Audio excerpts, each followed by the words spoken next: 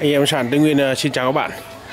Hôm nay mời các bạn à, buổi tối, xem à, một cái à, ụ, anh em nhà sàn dựng lên dựng lên, nhìn cực kỳ đơn giản. Nhưng nhiều các bạn tò mò, không biết anh em làm là cái gì. Các bạn nhìn thấy bên ngoài như thế này giống như là những ờ, viên đá bình thường, viên đá bình thường, rất bình thường các bạn như là đá xây dựng bình thường 46 nhưng à, điều khác biệt cực kỳ khác biệt sẽ lộ ra. Mời các bạn cùng xem.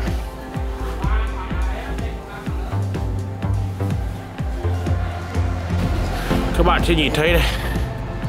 Nhìn à, đây là những à, viên đá thạch anh. Viên đá thạch các bạn à, thạch anh trắng. Có một số viên hồng. Viên hồng đây là một viên đá trắng các bạn này đây, anh em soi viên vào. Đây là những viên đá thạch trắng. Đây là một viên hồng các bạn này anh em ờ, soi đèn pin như này, nhưng mà xuyên sáng bên phía dưới, màu đỏ rực như này. Nếu là những đá xây dựng bình thường thì sẽ không có thông đèn như này. Đây là một viên phớt hồng còn à, viên này là một viên hồng các bạn này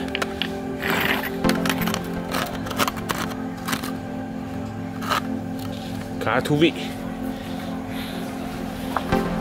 Đây là những đá 46 à, được các chuyên gia phong thủy các gia chủ à, nhà có điều kiện giả dưới nền nhà để chân trạch. Những à, ngôi nhà nào mà năng lượng thấp thì họ sẽ giải đá này để tăng năng lượng sinh khí lên con người muốn sức khỏe thì ngôi nhà các bạn cũng có sức khỏe. Đây các bạn khá thú vị. Đây là viên đá thành trắng đá này đặc điểm à, thông đèn trong và rất là cứng, rất cứng sẽ mát. Nếu các bạn giải trên nền nhà nhà của bạn thì nhiệt độ sẽ thấp xuống. Cực kỳ mát các bạn anh em à, là nhà sàn làm kho chứa đá phong thủy. Kho chứa đá phong thủy chuyên cung cấp ờ, các loại đá thành thô vụn cho các uh, chuyên gia phong thủy cho các gia chủ chủ nhà có điều kiện.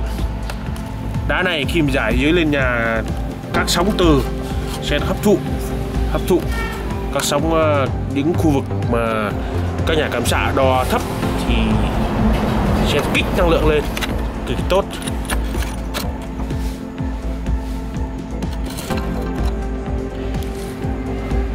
Đây là những đá 46 Viền 46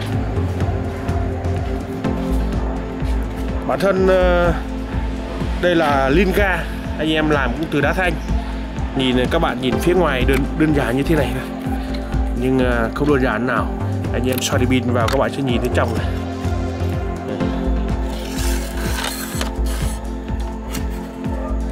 Rất là khác biệt. Nếu ờ, các bạn ờ, muốn xây nhà thì các bạn ờ, chưa biết về đá này, các bạn nên dùng đá để giải nền chân trạch anh em xin chào và hẹn gặp lại các bạn ở nhà sàn hoặc hẹn các bạn gặp lại ở video sau. Xin chào.